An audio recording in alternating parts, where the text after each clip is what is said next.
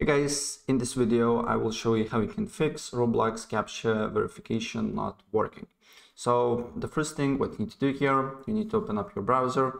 Uh, if you're using Chrome, for example, it will be the same. So uh, press on these three little dots here and then go to, uh, as you can see here, settings. And once you're here, then go privacy and security and then go to cookies and uh, other site data. And after that, then you need to scroll down. You should see all site data permissions.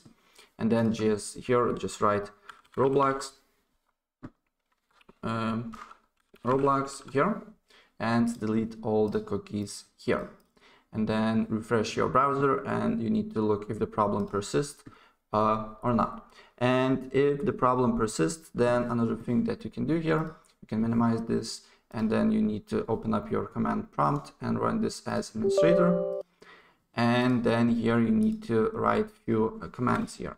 So the first one is ip uh, config slash flush dns and after you do that then um, i believe i write wrongly ip config slash dns without space. And then you need to write netsh uh, winsock uh, reset. And then you need to write uh, netsh uh, int ip uh, reset.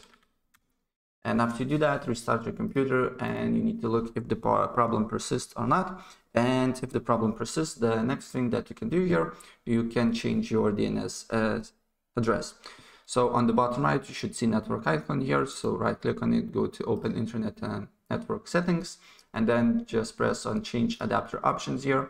And then right click on your uh, ethernet here or other, and then go to internet protocol version 4, and then press this use the following DNS server addresses. And here write 8.8.8.8, and on alternate DNS server uh, write 8.8.4.4, and then press OK. Press apply uh, restart your uh, computer or internet and the problem should be fixed right? So that's pretty much it. So if i help you out please press like button and subscribe for more. Take care. Bye